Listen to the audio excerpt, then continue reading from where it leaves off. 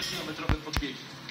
E, A tymczasem e, czas na kolejną e, wypowiedź Kamila Zatońskiego ze Stowarzyszenia Narciarskiego Klasyk Warszawa. Przypomnijmy, Kamil Zatoński w 2015 roku kończył Wilkę Bejenerene.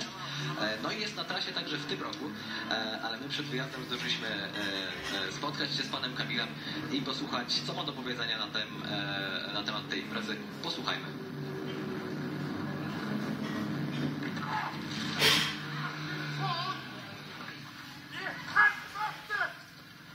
Groźna sytuacja, proszę Państwa, tymczasem e, wydaje się, że doszło tutaj do kolizji pomiędzy e, prowadzącym e, Sundbim a kierowcą skutera śnieżnego.